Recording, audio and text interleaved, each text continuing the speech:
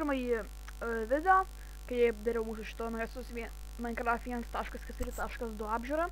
Ne viską pasakiau, taigi mes dabar biškai dar apžvelgsime mažesnius atnaujinimus bei vieną didelį atnaujinimą, kurio aš nesugebėjau jums parodyti.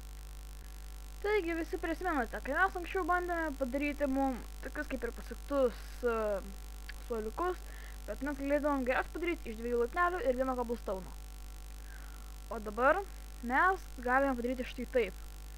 Iš visų įmanomų rušių laiptelių galima padaryti štai va tokius va šoninius kaip ir krėslus galime pasakyti. O tai yra padaryti labai lengva. Taigi, jūs pasiemate bet kurį iš jūsų turimų laiptelių ir tarkim aš tikrai noriu imtis iš mūsų sandstone, dedam taip, taip ir dedam šonu ir jis pasidaro toksai kaip ir kampu. Taigi, kaip aš praeitą kartą sakiau, aš nemokėjau padaryti, tiksliau rasti Wither bosso. Bet dabar mes jį galime tiesiog pasigaminti. Taigi, aš jums jį galiu parodyti. Štai man ką tik atsirado dar kardas. Kaip, uh, nežinau. Taigi, mes galime padaryti va taip. Padarome T raidę, sudėdami iš Soul Sandą. Panašiai kaip ir darant Iron Golemą. Taigi, mes paskui padėsime čia vieną galvą, čia vieną galvą ir čia. Ir pažiūrėkite, mes turime vidurą bosą ir kai matote viršuje, jam kaupiasi gyvybės. Jis pilnai, užsi, jis pilnai visiškai užsikraus, bus didelis bum. Ir jis dabar skraidžia, žudo gyvūnus. Jis kaip skraidžianti TNT mašina, kaip ir pradė, kad sakiau. Jis kažkodėl labai visus gyvūnus bando iškirst. Tokį geriau neturėt. Ir kai mes jį bandysime užmušti, bandom užmušti ir ir ką matot, jisai nesigydo, taip pat kaip ir kok, kaip koks uh, nugydosi, bet jis labai nepadaug, jisai neturi kaip Ender Dragonas uh, savo pasaulyje. Šitą galite iš tikrųjų rasti pragare, bet aš nesugebėjau rasti, tai man teko parsispavinti, tai galim pasakyti. Ir va, matote, kaip aš nugalėjau, gavau tokią va žvaigždę. Bulves morfom galite gauti žudant zombius. Ir tai jums fermeriai visai tikrai padės improvizuoti jūsų fermoje. Taigi, mes turime dar vieną naują mobą, kuris yra šikšnosparnis. Taigi, matote, yra tam nameliai ir jie skraidžia. Iš tikrųjų, dienos metu turėtų miegoti labai kaip vienas, tik tai jie jaučia, kad aš esu šalia, dėl to jie prabudę. Tik žiūrėkit, ten va, matot, vieni yra va, visi va priguli. Žiūrėkit, va, galima parodyti labai retai, va, aš vos prieėjau, iškart visi atsibudo. Taigi, kiaušinis atrodo taip, rudas su juodu. Ir mes jūs galime netgi paleisti laisvę. Taigi štai, paprastai galite aptikti olose. Bet čia man labai mielai, mielai atrodo, tokie kaip peliuko veidas. čia vienas miega, nu, tai tegu miega, netrukdysim. Gera naujiena uh, Adventure mapų kuriejams. Taigi dabar yra daug lengviau su redstone, tiksliau, repeateriais. Taigi, man tai tarkim, aš dabar įjungiu šitą ir jisai tiesiog persmaina signalas. Va, pilnai. Bet jeigu aš nulenksiu šitą, signalas kol kas lieka, bet jeigu nulenksim ir ten signalas persikis. Taigi, matote, dabar su signalu yra labai lengviau, daug lengviau. Taip galima padaryti labai iš tikrųjų įdomius adventure mapus. Kaip išjungsime šitą ir vėl jungsime šitą. Taip, kas, kas normaliai. Jungiam taip ir jungiam šitą, nebeveikia. Bet jeigu mes iš pradžių pajungsim šitą ir paskui šitą, jis užsiliks.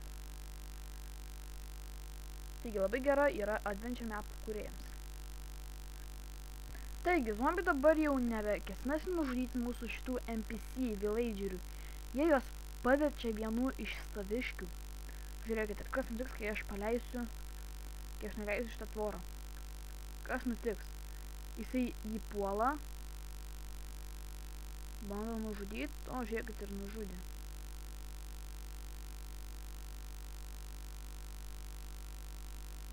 Hm.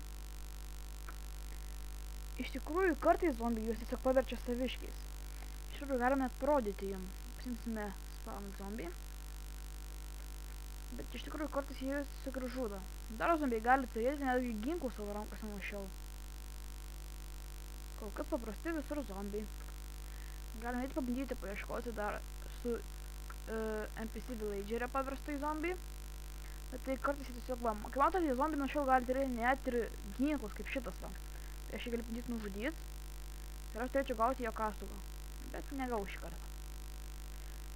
Taigi čia paprastas, paprastas, paprasti, paprastas, paprastas. Iš tikrųjų, jį kartais surasti tiesiog yra labai sunku.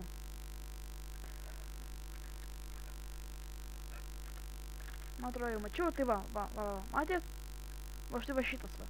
Tai yra NPC villageris zombis. Tai va, nuo šiol gali netgi tapti va tokie.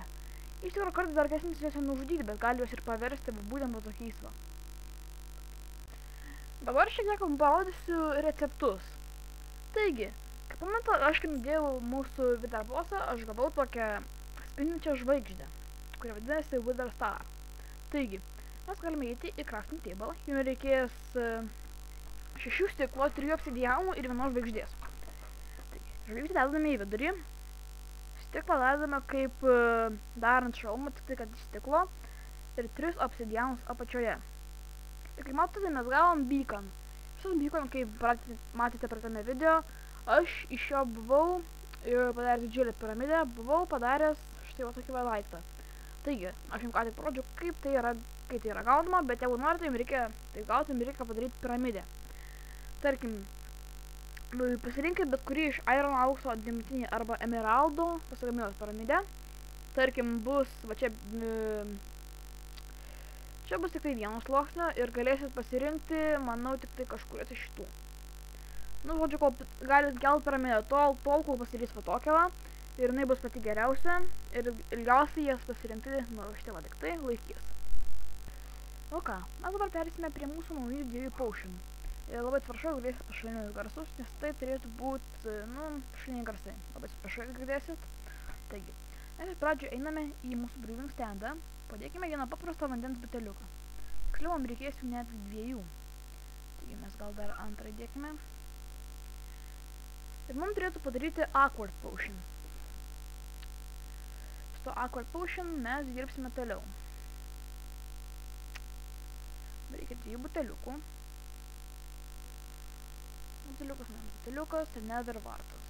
Ir turėjo gautis Awkward, Awkward, va, du keisti mums gavosi. Šoną. Tai, mes padarysim, įdėsime vieną Awkward čia ir įdėsime vieną auksinę morką. Ir tai gausis mums naujas, visiškai naujas mūsų potionas. Laukime, kol vėl užsikraus.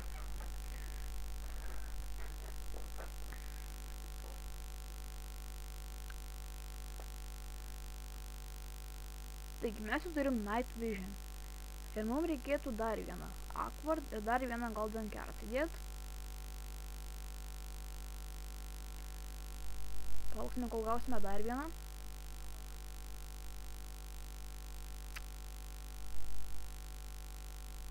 tikrųjų gan ilgai daro jos.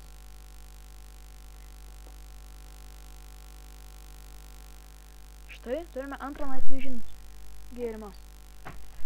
Ir dabar labai atsiprašau, galės pasilinį pašilinių garsus, nes šiaip pas mane pastoji vaikščia, kadangi pas mane nėra svečių.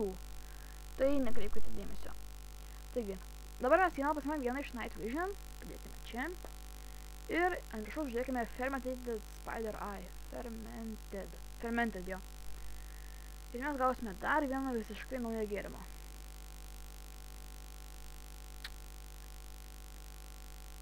Night Vision, abu čia po Night Vision šiaip dabar. Ir beveik jau. Štai. Ir mes turime du naujus gėrimus. Invisibility bei Night Vision. Taigi su Night Vision jūs geriau matysite naktį, su Invisibility, kaip jau praeitą kartą rodžiau, tapsite nematomi. Taigi, norite pasigaminti uh, moliūgų piragą? Tai yra labai paprasta. Įeinate į crafting table, prašau įdėkite vieną moliūgą, per vidurį įdėkite cukrų, o ją pačią kiaušinį. Ir štai turite jūsų moliūgų piragą. Štai šitas piragas yra stekinamas, jį galima stekint. Ir jie jums pridės e, keturis mėsos gabaliukus prie jūsų, kaip čia sakus, gyvybių. Taigi dabar aš jums parodysiu, kaip pasigaminti štai šitą daiktą. Taigi, pirmiausia, einate į crafting table ir sudėkite taip keturis iron gabaliukus ir tris iron blokus ant viršaus.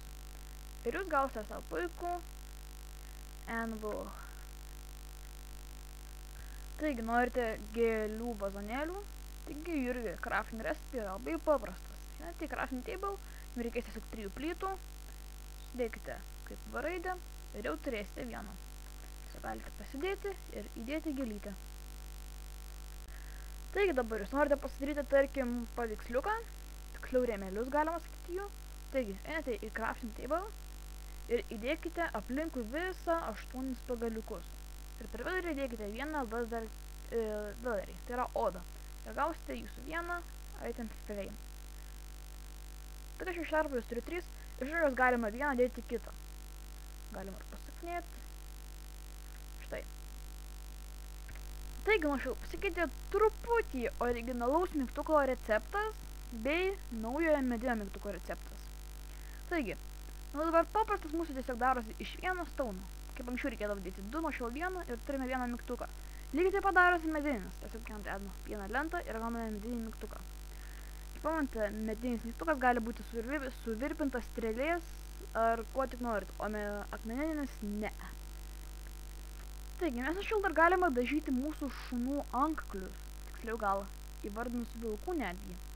Taigi, mes tarkim turime bet kokią spalvą ir su dešiniu klavišu ant ją paspaudę, spalva keičiasi. O čia yra oranžinė, mėlyna bei rožinė. Ir manoma su visiškai visom spalvom. Aš jums tik parodžiau, parodžiau tik tris kaip pavyzdį.